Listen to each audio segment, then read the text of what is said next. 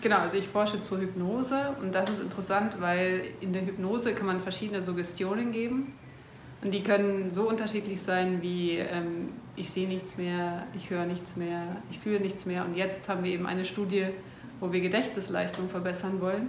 Also diese Inhalte, die ich dann in der Hypnose gebe, können sehr unterschiedlich sein und es ist eben total faszinierend, was die im Gehirn auch machen und natürlich auch in der Leistung. Also wir hoffen natürlich in unserer neuen Studie zu finden, dass es wirklich in, in der Gedächtnisleistung, also wirklich Erinnerungsleistung messbar ist, dass das verbessert ist.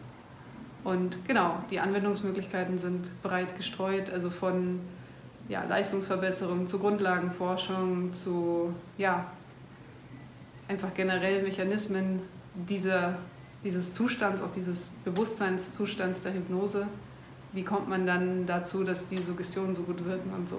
Das ist, was mich interessiert.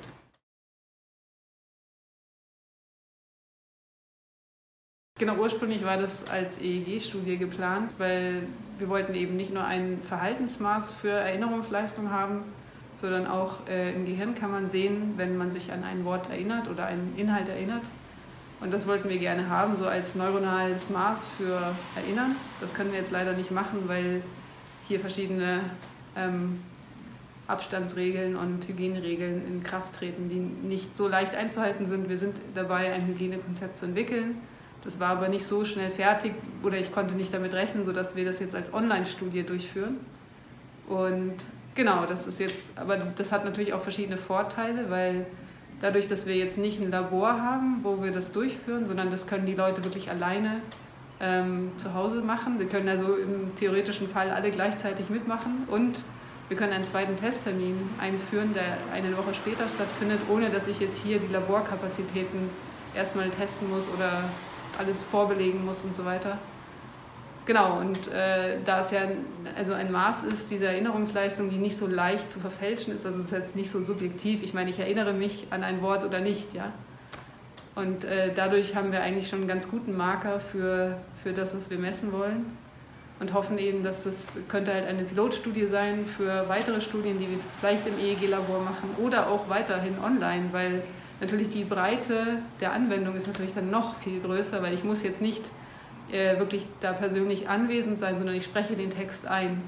Und äh, das ist natürlich unfassbar viel weniger Aufwand.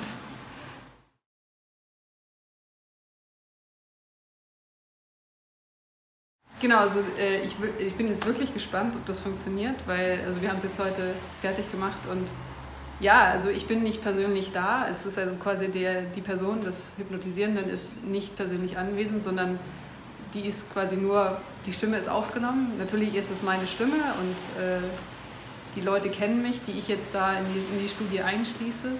Aber es wäre natürlich interessant, das dann weiterzuführen und sagen, okay, jetzt nehme ich Leute, die mich nicht kennen und schaue einfach, ob, ob diese Suggestion da auch funktioniert. Was es eben schon gibt, ist, dass es äh, so MP3-Interventionen bei Intensivstationspatienten gibt und die haben halt auch einfach nur Ohrenstöpsel reinbekommen und haben also eine signifikant reduzierte Liegedauer, weniger lange Beatmungszeit und so weiter. Also das macht schon mal viel Hoffnung, dass es geht. Ich habe es jetzt noch nicht selber ausprobiert, aber das ist jetzt quasi ein, ein bisschen erzwungener neuer Schritt, den ich aber dann bestimmt auch nutzen kann.